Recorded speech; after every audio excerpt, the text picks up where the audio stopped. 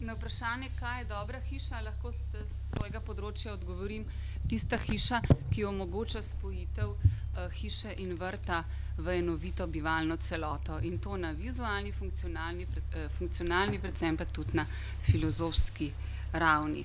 In zato lahko podam tri tri filozofsko-religiozne koncepte, iz katerih ta argumentacija, ta trditev izhaja.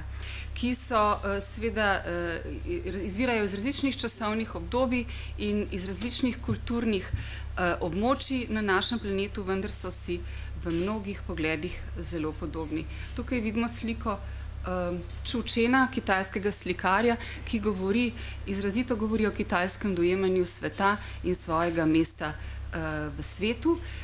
Njih zanima delovanje sveta, ki ga vidijo kot stalno menjavanje kontrastov, stalno dopolnjevanje nasprotij, kar izrazito v tej sliki lahko razberemo. In seveda je osnovna povezava prevedena v bivališče, v koncept jianči, hiša, vrt. Izraz, ne, idiom, kitajski idiom, ki označuje to bivalno celoto kot eno.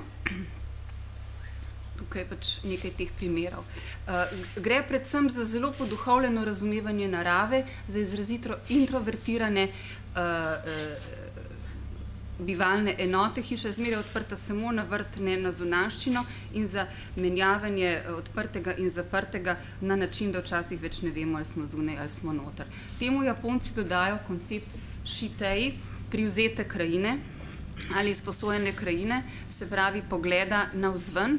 Vrt več ni uporabna enota, ni namenjen gojenju rastlin ali sprehajanju, temveč je prostor čiste meditacije, v katero včasih vstopi tudi krajina od zunaj. To je primer iz Daizenina, ki razlaga, kako je pravzaprav hiša predstavitev našega racionalnega človekovega sveta, v zadnjem planu je divja narava in v sredini človekov in v sredini vrt, ki pomeni spojitev obeh.